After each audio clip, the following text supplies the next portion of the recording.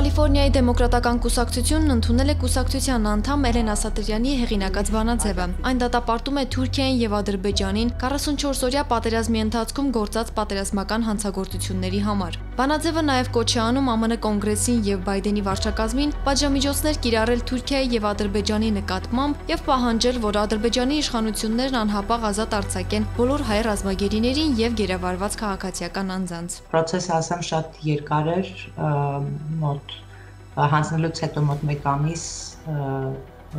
իմ ամբողջ կոլեգաների հետ, որոնք սպոնսոր էին կանգնել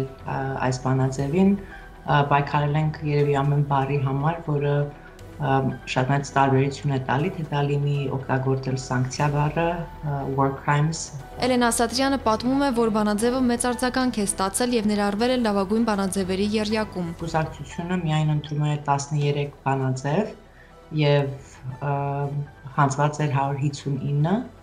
այդ 159-ից հասնել այդ թավ 13-ին շատ մեծ աշխատանք էր եւ ասեմ մի հոգու աշխատանք չէր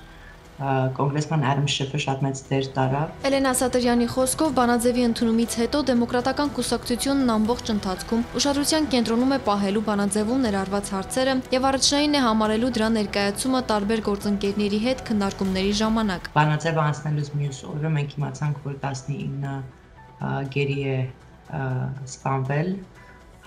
եւ այնց այդ մյուս դրանից մյուս օրը կոնգրեսմեն Ադամ Շիֆը հենց կոնգրեսում եւ Բրադշևանի հետ այս պահին միասին համ POW-ների համար, համ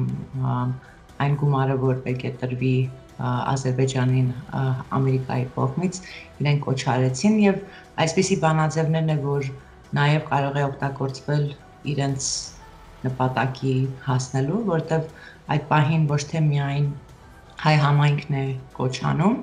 այդ քայլերը վերցնելու, այլ Ամերիկայի ամենամեծ դեմոկրատական կուսակցության մարմինը։ Էլենա Սատրյանը գործընկերների հետ նոր բանաձև կներկայացնի առաջիկայում։ Այն կապված է Ազատության աջակցության ակտի 907-րդ հոդվածի հետ, որն ԱՄՆ նախագահ Ջո Բայդենը որոշեց կասեցնել եւ Ադրբեջանին տրամադրել ռազմական օգնություն։ Այս որոշման վերաբերյալ էլ Ամերիկայի հայ համայնքն իր դժգոհությունն էր հայտնել։ Էլենա Սատրյանի խոսքով բանաձևը կներկայացվի Լոս Անջելեսի դեմոկրատական կուսակցության համաժողովի ընթացքում։ Բանաձևով նախագահին կոչ են անելու չեղարկել այդ որոշումը եւ դադարեցնել Ադրբեջանին եւ Թուրքիային տրամադրվող օգնությունը։